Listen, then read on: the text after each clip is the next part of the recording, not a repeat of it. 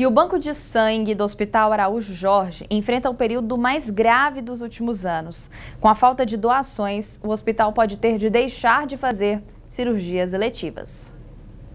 Nos últimos dias, a cena no banco de sangue do Hospital do Câncer Araújo Jorge tem sido essa.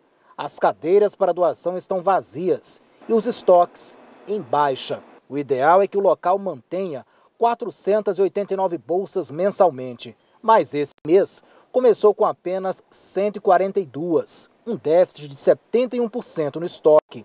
Esta é uma das piores crises da história do Araújo Jorge com falta de sangue e a mais crítica desde o início da pandemia. Desde que iniciou esse período de pandemia, né, é, nós agora chegamos num momento crítico. Né, nossos estoques caíram, reduziram muito, né, é, levando em consideração que o atendimento dentro do hospital não diminuiu, né? Os pacientes é, não têm como parar o tratamento oncológico, né?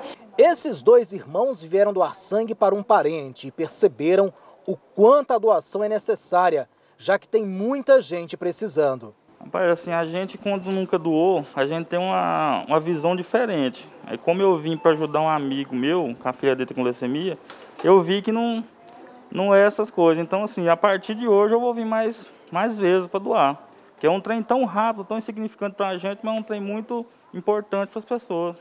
Assim, eu aconselho quem puder vir doar, porque a diferença que faz na vida de muita gente, se a pessoa soubesse isso, você entendeu? Poderia vir muito mais gente. Se outras pessoas não fizerem como eles, assim como já ocorreu, o Araújo Jorge poderá suspender as cirurgias eletivas. Enquanto essas cadeiras estão vazias, muita gente está precisando de sangue, viu?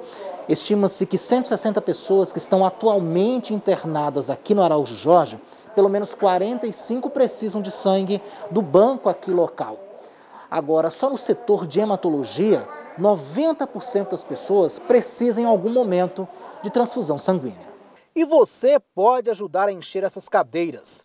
Basta preencher alguns requisitos simples o atendimento é feito dentro dos protocolos de combate à Covid-19. É muito importante que o doador traga documento oficial com foto.